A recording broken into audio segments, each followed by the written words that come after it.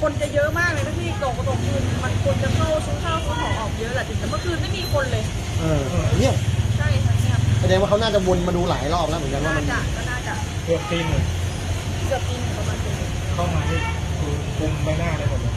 ก็ปิดแมสแต่เข้ามาที่เราเรารู้แล้วไหมว่ามันต้องใช่แน่ๆนะเข้ามาอย่างใช่เงี้ยใช่ก็คิดว่าก็คงต้องมันคงต้องใช่อะมามามาแบบนั้นเคยโดนไหมแต่ครั้งไม่ค่ะไม่ใช่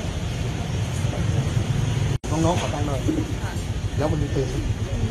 เห็นด้วยมาโชว์เหรอ เขาโชว์ปืนพี่เองพี่เป็นตำรวจเหรอ คือเขาเขายกอย่างนี้ใช่ไหมคือเลื่อนขึ้นมาเราก็เลยเปิดเป็นชักให้ไปไม่ไม่ได้เปิดแล้วที่เราให้ไปสามพันห้าร้อยยี่สิบคือมันเอาในตู้เซฟไปคือเข้าไปเองเลยเหรอวนวกเข้ามาข้างหลังเนี่ยใช่ค่ะเพราะเขาไม่เชื่อว่าว่าพี่ว่าพี่เปิดแชทไม่ได้อ๋อมันเลยวกมาเองเลยแล้วจากนั้นปุ๊บเราโทรแจ้งเลยใช่